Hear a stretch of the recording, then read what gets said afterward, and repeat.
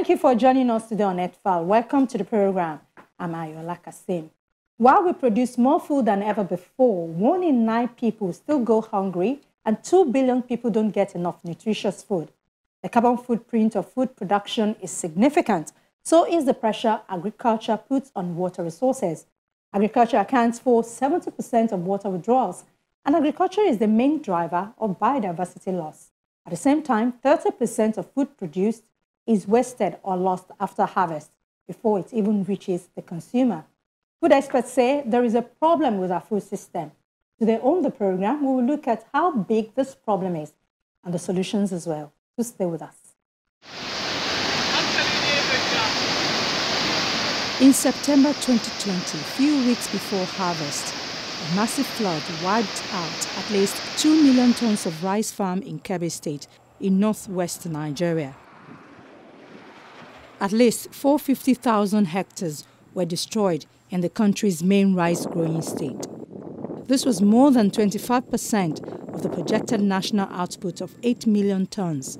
Farmers in Kano, Niger, Enugu, Jigawa, and Nasarawa also reported damage. These farmers have been counting on the harvest for their annual income and much of their food. With a fertile soil profile, improved cultivation practices, and committed productive farming population, Kebbi State has been the focal point for the federal government's Anchor Borrowers Program, an initiative of the Central Bank of Nigeria launched to achieve local production sufficiency in the country.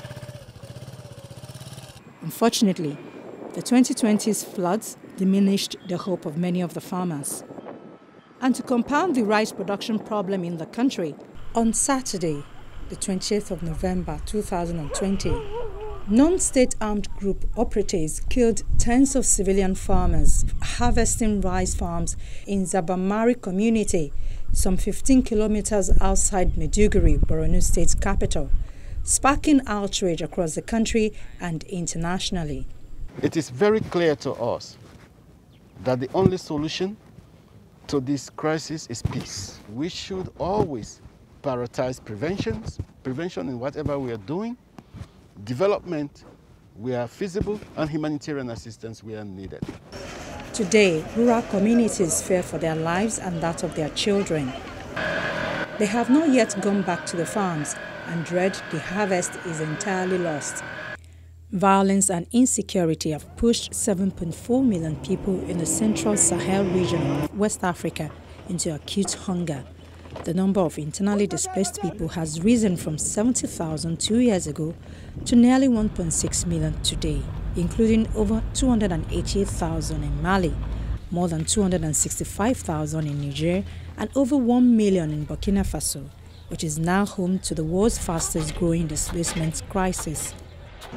The most recent official data indicates that 4.3 million people are currently critically food insecure in Borno, Adamawa and Yobe states. And the number could reach up to 5.1 million over the lean season between June and August 2021. What do you feed the child with? Meanwhile, the result of the food insecurity is resonating beyond Nigeria's northeast.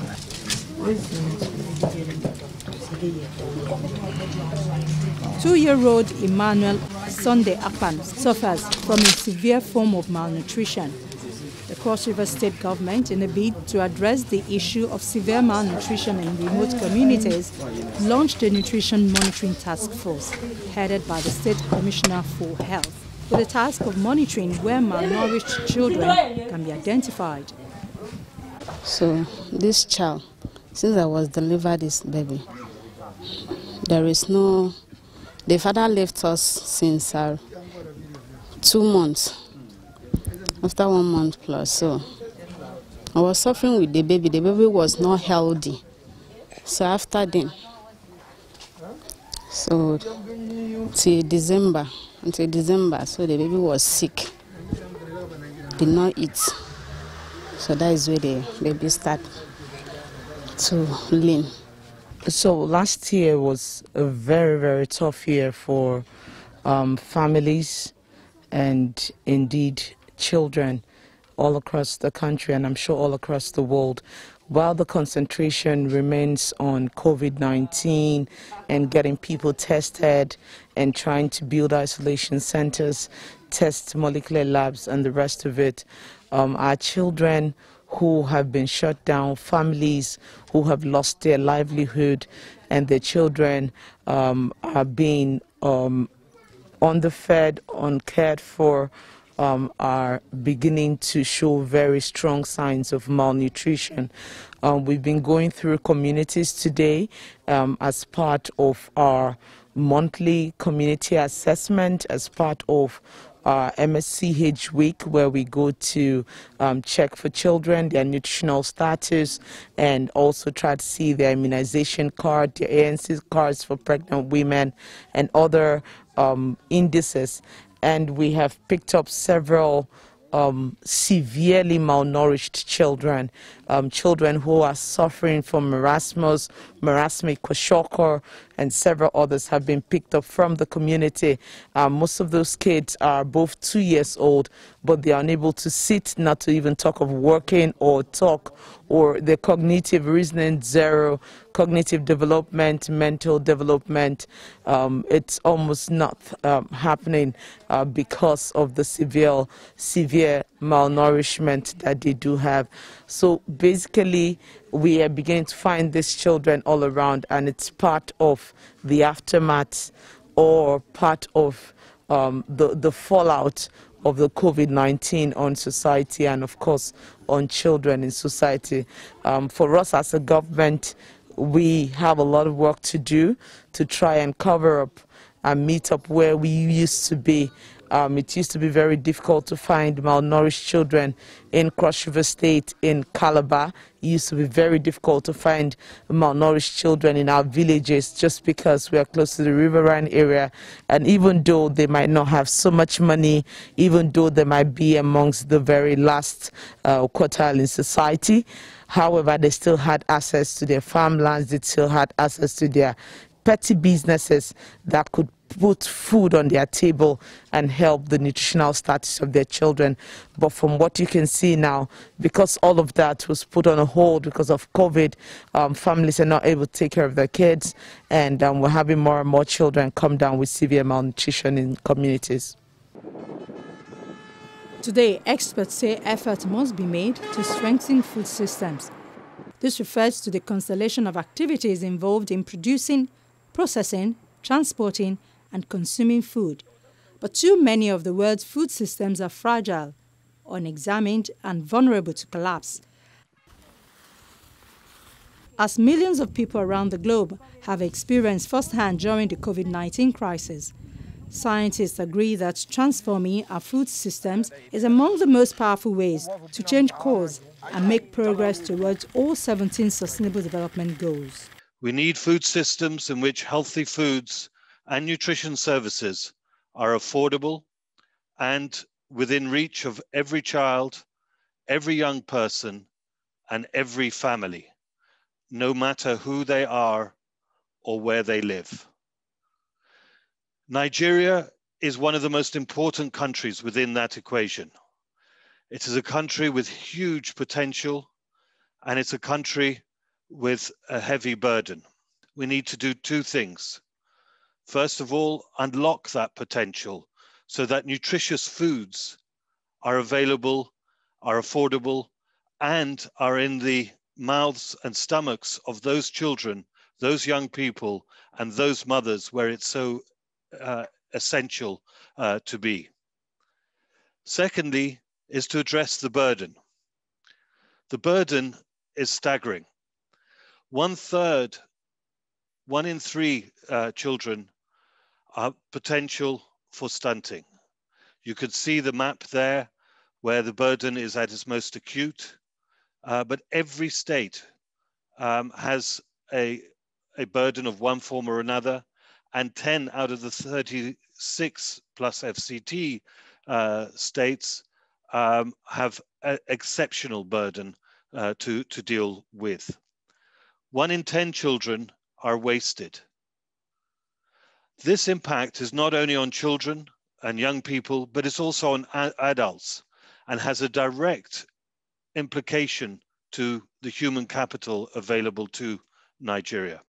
EAT, Food and Land Use Coalition, the Global Alliance for Improved Nutrition, World Economic Forum, and World Business Council for Sustainable Development were the five partners that established the Food Systems Dialogues in 2018.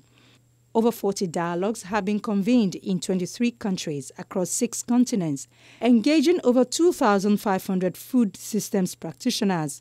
These dialogues are in preparation for the United Nations Food Systems Summit to be convened by the United Nations Secretary General in September 2021. The, the Food Systems Summit is part of the Decade of Action uh, for Sustainable Development Agenda.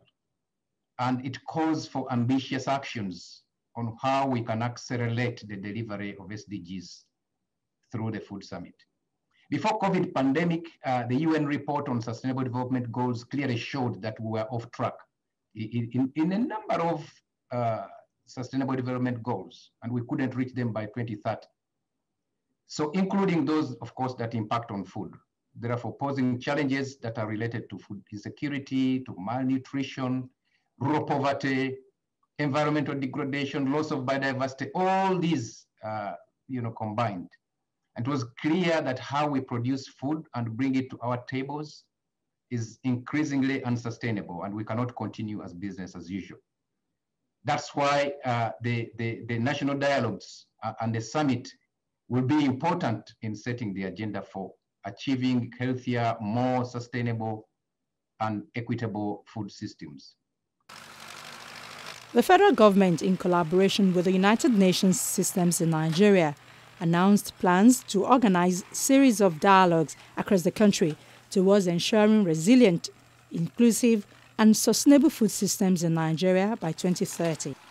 To ensure an all-inclusive and participatory dialogue, the Nigeria National Food System Dialogue is planned to be organized at three levels in advance of the summit bill to take place in September 2021. These include Inception Dialogue, aimed at identifying food system challenges from multiple perspectives, exploratory dialogue, planned to hold in six geopolitical uh, zones and is to harness promising approaches from diverse stakeholders that contribute to food systems in Nigeria. And the last is the consolidatory dialogue to exchange views on the pathway towards sustainable national food systems identifying intentions and commitments of different food system actors. The dialogue will focus on the UN five action tracks, namely ensuring access to safe and nutritious food for all, shift to sustainable consumption patterns, boost nature positive production, advance equitable livelihoods, build resilience to vulnerabilities, shocks, and stress. The action tracks will draw on the expertise of actors from across the food system. And together they will explore how keep cross-cutting levers of change, such as human rights, finance, innovation, and the empowerment of women and young people can be mobilized.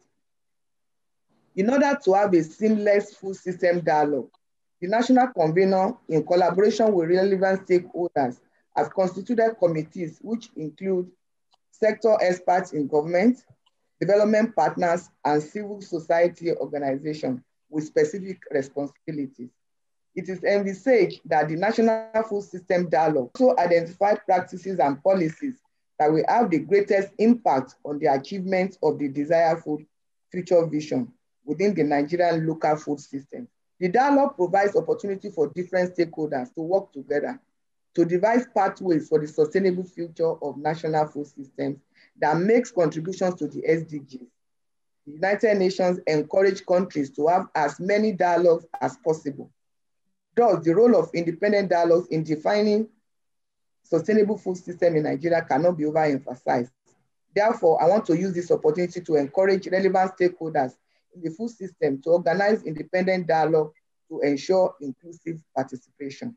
Excellency, in 2018, the United Nations Security Council passed a historic resolution recognizing that hunger drives forced displacement, and conversely, forced displacement can have a devastating impact on agricultural production. It is believed that hunger will never be eliminated without global peace. Climate change further deepens the spiral of hunger and conflict. Today, around 20 million people are facing famine in Yemen, South Sudan, Burkina Faso, and northeastern Nigeria. It is said that conflict is the main driver of hunger in most of the world's food crisis. Conflict breeds hunger. It can displace farmers and destroy agricultural assets and food stocks, or it can disrupt markets, driving up prices and damaging livelihoods. In this vicious circle, conflict and lack of food break down the very fabric of society and all too often lead to violence. Food Systems Summit dialogues are convened by national governments and individuals from across all of society. To create an open and honest space for sharing, dialogues are typically carefully curated and facilitated events. The government and the United Nations body in Nigeria recently hosted the media virtually to explain the visions of the dialogues to the overall success of the United Nations Food Systems Summit. Sustainable food systems do not just help to end hunger. We need to put in place systems to ensure that we produce enough food for the current generation without compromising the ability of future generations to have access to adequate food and proper nutrition. As the population continues to grow, and with the many players in the food industry, there is greater need for all of us to understand how we will ensure availability of quality food in quantities that will cater for the needs of all people in a sustainable way.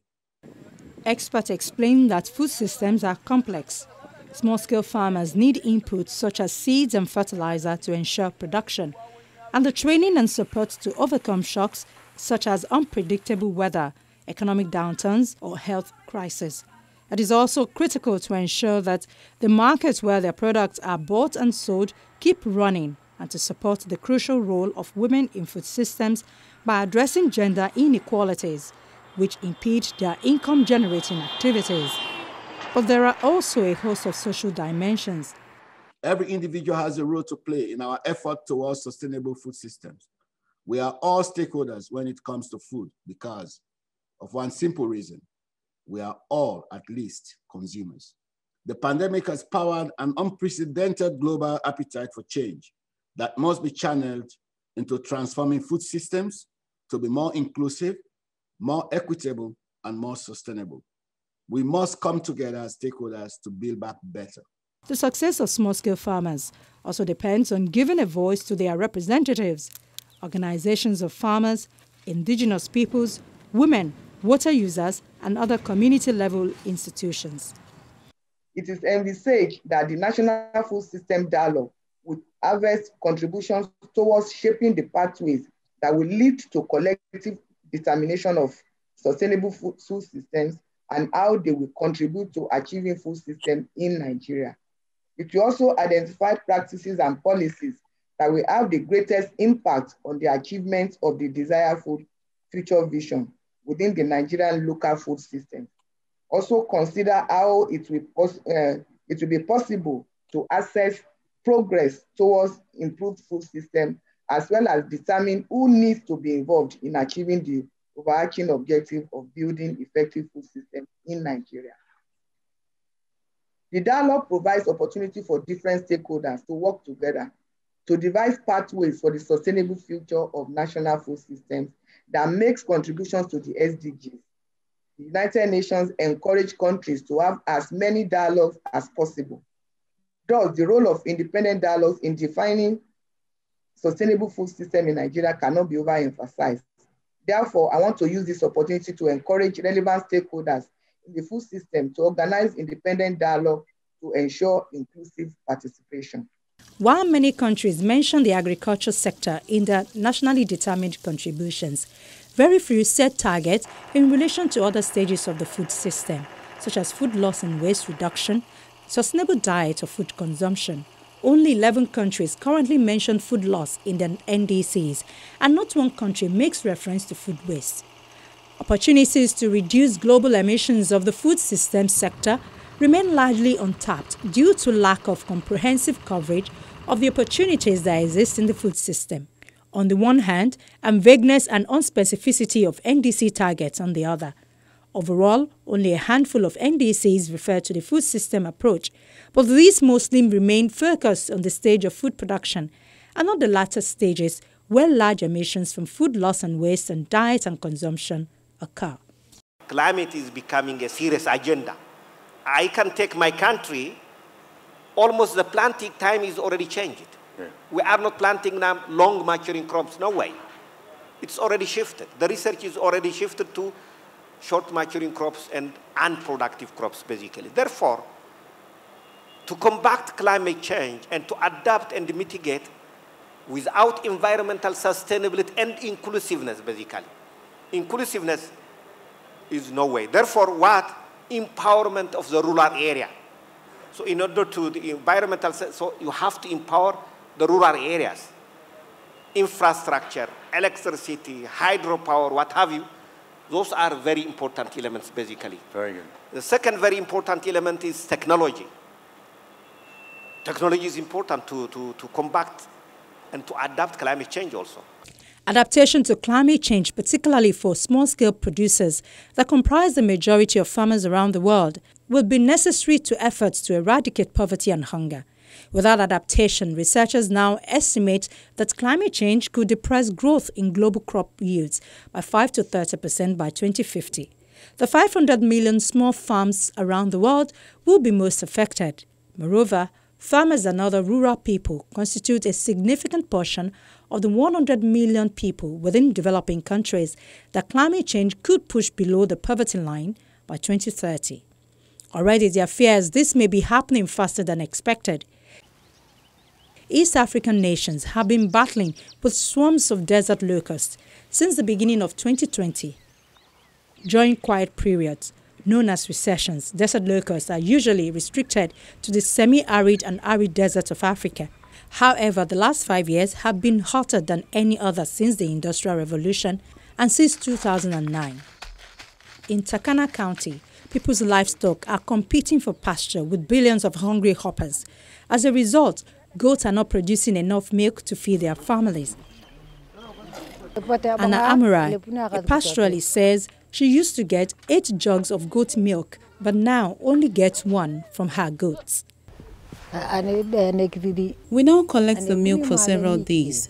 Then we add water so that we can make enough tea for the children. Pastoralists are worried that there won't be enough pasture for their livestock as the dry season is approaching. Moses Areng is a pastor and member of Logon Livestock Association. Mimi siwezi kujua kwa sababu gani zilikuja. I don't know why the desert locusts came. Only God knows. If they could talk, they would tell us that they are in Turkana because they were born here, with nowhere to go, meaning they will continue to live and breed here. Kwa hivyo wataendelea kusahana na kuishi mazingira haya ya jua. Food experts have said at this challenging time, there is a need not to forget how important the world's 500 million small-scale farms are for building global peace and food security.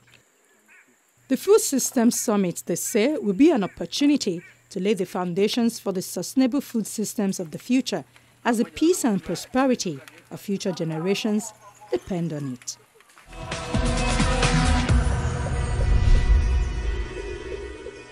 COVID 19 has brought to the fore the connection between food, health, and quality of life, but also how many of our food systems are failing us, especially where inequality is most prevalent. The urgency created by COVID 19 has created how quickly the global community can respond and adapt to existential threats. And we have been told it is this energy that must be channeled into transforming food systems to be more inclusive, more equitable, and more sustainable. That's our show for the week. Thank you for watching. We'll see you next week.